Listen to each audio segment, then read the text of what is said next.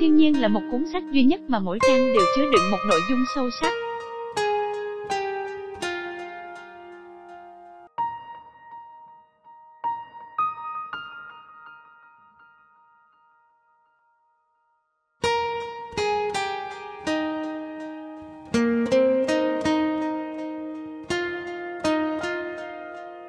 Hạnh phúc đấy là ở bên thiên nhiên, được trông thấy thiên nhiên, trò chuyện cùng thiên nhiên.